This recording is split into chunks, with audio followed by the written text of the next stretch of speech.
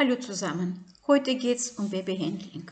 Um Baby hochzuheben, fixieren Sie am Oberarm, mit anderer Hand schieben Sie unter den Schulter und fixieren Sie Kopf mit drei Zweifinger und mit anderer Hand am Gesäß. So können Sie vorsichtig hochheben und ablagern. Am Armchen sollte man nicht ziehen. Bieten Sie den Daumen an und Sie sollen selbst ja, sich trainieren, Kraft aufbauen vom Arm und Schultern wenn Sie Baby auf die Seite lagern, genauso am Oberarm fixieren, an die Schulter auf die Seite rollen und dann äh, auf dem Becken. Wenn Sie möchten Baby frisch machen, fixieren Sie beide Beine mit einem Hand oder Sie benutzen Wickelgriff, um damit Sie können Baby gut frisch machen.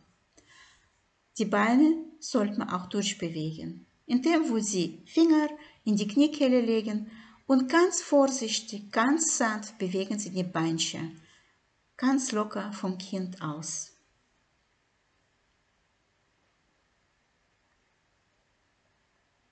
Wenn Sie Baby auf die Seite lagern, fixieren Sie am Oberarm. Drehen Sie auf die Seite. Sie fixieren am Oberarm, drehen auf die Seite, fixieren Kopfchen und dann drehen Sie Kind auf den Hand. Und wenn Kind liegt mit Kopf nach unten, da passiert nichts. Kopfchen kann etwas bisschen hängen, Ämsche hängen und Kinder sind so ganz wohl in sich selbst.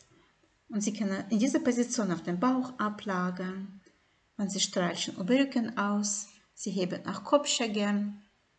Sie genießen diese Position. Diese Stellung ist sehr empfehlenswert mehrmals am Tag durchzuführen, nachdem der Nabelstummrest ist schon abgefallen.